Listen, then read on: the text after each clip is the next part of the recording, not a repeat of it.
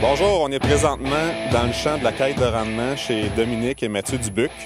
Aujourd'hui, on fait une expérimentation avec une aile volante. Alors, je suis en compagnie de Jean-Sébastien Jeté. Voici l'aile volante. Ça permet de prendre des photos infrarouges et euh, créer des cartes NDVI. Notre objectif est de vérifier la différence de biomasse entre les deux hybrides de maïs dans le champ. Le maïs est présentement à cette feuille.